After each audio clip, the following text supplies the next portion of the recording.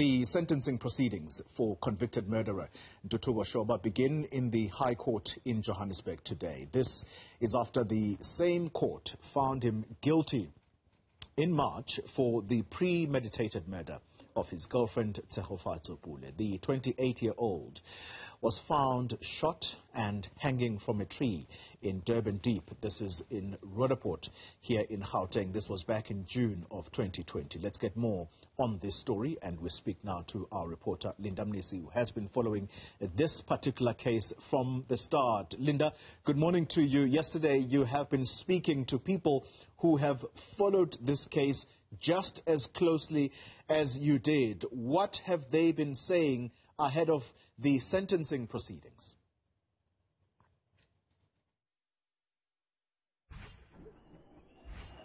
Well, Polly, because we know today that the arguments that are expected will involve, of course, uh, Ntuthuko Shoba's lawyer, perhaps uh, one can anticipate, uh, you know, asking for a deviation of the prescribed minimum sentence in this particular matter, which is a life sentence. There's, of course, great anticipation and there are great calls for this court to give him life imprisonment from the Tshegofatso Pule Foundation. We heard yesterday how they want uh, nothing less than a double life. Now, what is the reasoning behind that? It's because that they say there are two lives that have been lost here. That of baby Kamano, who would have been the baby born, uh, you know, just the following month prior to their death, um, as well as Tshegofatso Pule for her life.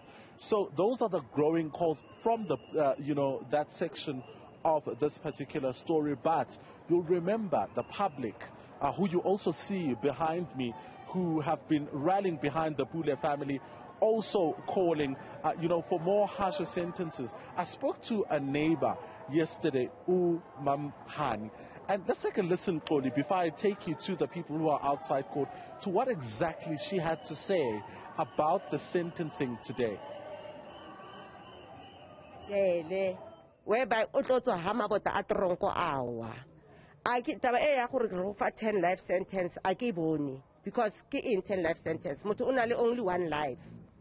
If ba re life sentence e be life sentence e senang parole ka mogare rona re re rona. Shoba ene o bone ba ya ba mmone. Rona re etela lebitla.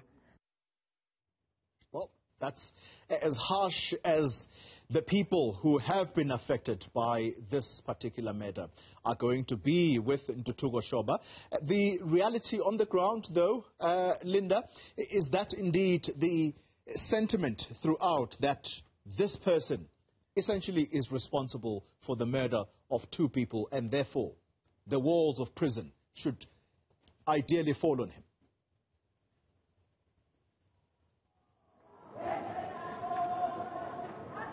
Absolutely, Tole. And I mean, if you look at behind me, the people that have just arrived to make sure that they voice out their dissatisfaction about what has really happened. You'll remember this is a case that dates back to uh, June 2020, and there's been a lot of calls for a harsher sentence. I mean, if you remember during uh, the judgment, there was a lot of people outside court who were waiting to hear exactly what the criminal justice system makes of uh, the evidence that has been brought by uh, you know the state as well as the defense. Obviously on the ground they've been standing with the Pule family. And let's take a listen to uh, you know just a moment and take these visuals in and the sound and what uh, you know the people have to say really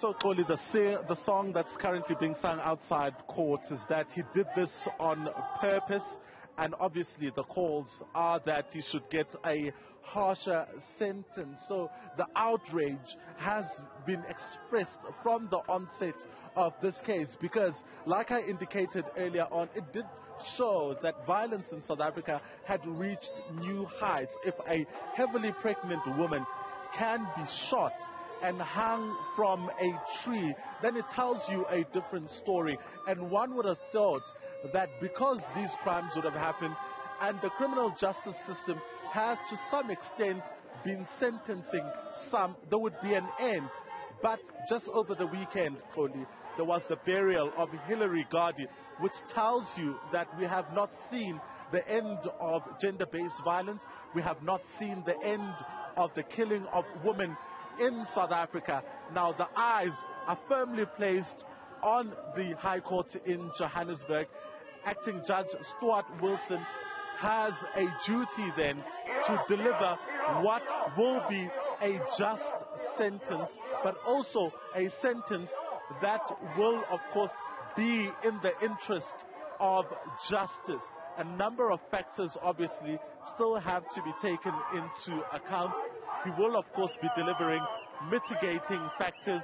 He will, of course, be saying why, giving the court reasons why it should deviate from the prescribed minimum sentence. But from the ground, it is clear that the expectation is that the judge should not deviate from the prescribed minimum sentence.